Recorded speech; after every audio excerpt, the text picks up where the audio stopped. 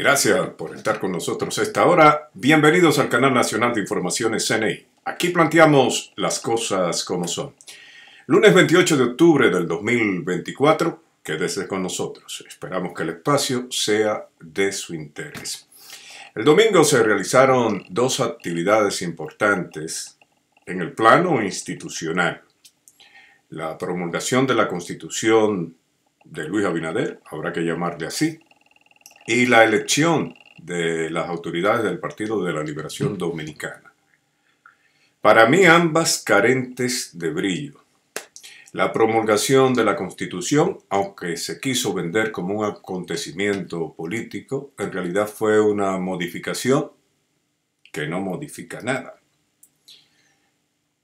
Eh, el presidente Abinader, pues, un momentito que yo creo que todo el mundo lo aplaudió es cuando dijo que jamás se presentaría a la presidencia.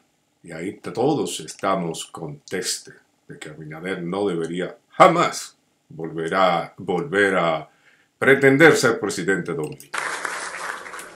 Esta es una muestra clara de mi convicción y mi compromiso democrático. Termino el 16 de agosto del 2028 y no sigo más, no sigo más nunca más para bien de la democracia dominicana.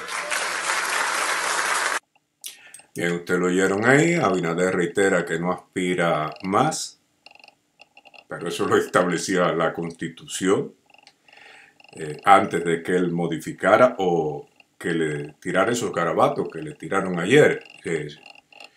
Eh, con respecto al Ministerio Público, que eran los dos argumentos principales, el candado que le iba a poner a la no reelección, es la misma vaina que estaba antes, eh, el Ministerio Público, su tan cacareado Ministerio Público Independiente, después de los pincelazos que se le dieron ayer, es más dependiente que lo que era hasta el sábado.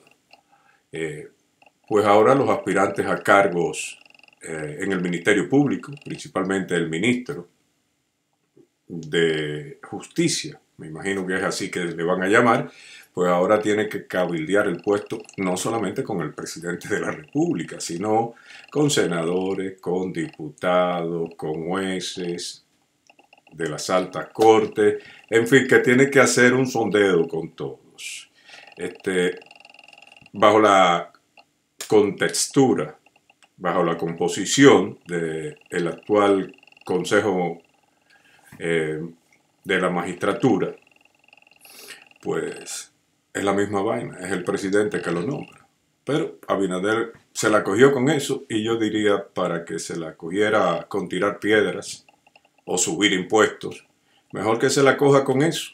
Y entonces decir que él es el padre de la patria nueva y que qué filete de constitución tenemos los dominicanos.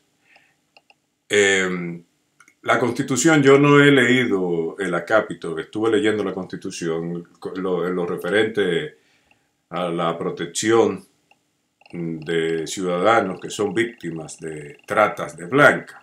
Veremos a ver qué capítulo abren o qué capítulo cierran. Pero hasta el momento lo que he leído, pues, ni fu ni fa.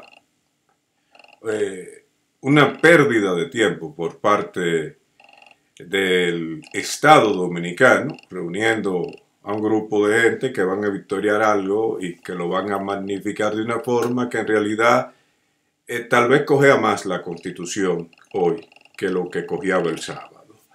Em, en fin, la reforma de Abinader es una reforma insustancial. El que le diga otra cosa es por otros motivos, pero eso ni fu ni fa. Eh, pero al mismo tiempo, todo esto abre un debate con Danilo Medina que estaba pues candidateándose para continuar como presidente del PLD. ¿Y cómo va esto, amigos míos? Bueno, simple. Eh, en el discurso, Abinader pues afirmó que se negó a negociar el impedimento de Danilo Medina. No le mencionó el nombre, sino el que se postuló en el 2016 eh, no podrá ser candidato más. Y aquí abren entonces todo un, tinglado de cosas. Eh, Abinader eh, señala, yo no, me voy a, yo no me voy a postular, pero fulano no se va a postular tampoco. Y entonces Danilo Medina, que estaba en la Casa Nacional del PLD, los periodistas le entrevistaron. Este artículo transitorio para que el presidente, para que no vuelvan a postularse durante dos periodos, ¿qué, opinión le merece? Lo primero es que yo nunca he hablado con el Partido Revolucionario Moderno para que me habilite. No tengo ningún interés. Dice Danilo Medina, y quiero que sepan que Abinader lo de mitómano lo aprendió de Danilo Medina, pero Danilo con su cara fresca dice que no, que él, que él no habló con ningún miembro del, PL, del PRM para que le resolvieran el problema que él mismo se buscó, porque usted ve cómo lo dice. Este, y a Danilo se le olvida entonces todas esas conversaciones y ese eh, amiguismo y, y esa, e, ese compinche de su amigo Hipólito Mejía, que los une más que sus afinidades, la falta de escrúpulos a estos dos personajes. Eh, Danilo cabildió eso hasta el último momento y cuando Luis Abinader, que tal vez ha sido de las pocas veces que dice la verdad, dije, me negué a eso, era que Hipólito le tenía las orejas calientes con eso. Pero Hipólito tal vez estaba jugando al doble ruedo, haciéndole creer a Danilo tal cosa, pero Hipólito tiene dentro de sus planes que su hija, válgame Dios, sea presidenta o presidente de la República Dominicana. Eh, ustedes vieron a Danilo, pero Danilo se fue más lejos y habla de quién fue el primero en ponerle límites a su mandato. Y lo segundo es que no es verdad que el presidente Abinader es el primero que se pone un límite al mandato, porque el primero fui yo. El transitorio que viene en el artículo 124, yo se lo dije al compañero Reinaldo para que lo pusiera. Gracias, Danilo. Bien, ese es un cuento a medias, porque es verdad que él eh, incluyó él en la constitución del 2015 que si resultaba ganador en el 2016 no podía ser en el 2020. Pero hizo el cuento por la mitad, lo que no dijo que en el 2019 pues pretendía barrer con todo ese tipo de cosas. Ya la aprobación de esa reforma constitucional estaba lista y una llamada de Pompeo pues provocó la paralización de eso. Llamaron al palacio, el palacio mandó un emisario al Congreso, paren eso. Esa es la realidad de todo eso. Eh, pero Danilo hace el cuento a mitad. Sí, él eh, le dijo a Reinaldo Pared, como él dice ahí, eh, incluye esta cláusula en la Constitución de la República. El candidato, si, si, el presidente de la República logra la reelección, no puede ser candidato más. En el 2016 no puede ser candidato más. Pero se le olvida que en el 2020, en el 19, pues quiso borrar eso, militarizando el Congreso Nacional y haciendo una serie de diabluras. Y repito, tal vez Abinader, pues, ha sido de los pocos casos en que ha dicho la verdad al momento de decir que se negó a negociar el impedimento de Danilo Medina. Eh, el PLD hizo su, su selección. Iba a decir elección, pero yo no sé si es elección o selección. Porque eh, muchos dicen que le bajaron la línea a los miembros del de, Comité Central para que votaran por las autoridades, presidente, secretario general y también de los, los integrantes del comité político. Ahora bien, Em, algo que refuerza ese murmullo de que bajaron la línea fue una conversación que le agarraron a Camacho y que Cachicha la reproduce en su medio cuando en un grupo de WhatsApp, parece de miembros del Comité Central, baja la siguiente línea. Compañeros y compañeras, salud, éxito. Mañana debemos estar temprano allá en el pabellón de karate, pero esta tarde, todo el día de hoy y la noche, tenemos que hacer un recorrido a través de estas redes y de estos mecanismos para recordar a los compañeros votar por Danilo para la presidencia del Partido de la Liberación Dominicana, ratificar los 32 miembros del comité político que aún estamos ahí, que hemos manifestado el deseo de acompañar a Danilo y escoger de los nuevos dos espacios.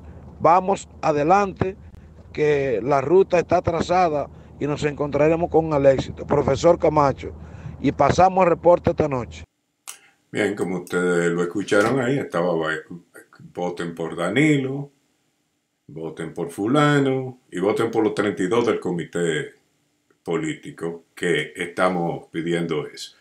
Eh, ¿Le resultará eso al PLD? Yo creo que los movimientos cada vez más se le achican. Si algo bueno tuvo esa selección, no voy a hablar de elecciones, selección, ha sido el porcentaje que sacó Francisco Domingo Espíritu, que a pesar de los pesares, sacó un tercio del Partido de la Liberación Dominicana, del Comité Central del Partido de la Liberación Dominicana.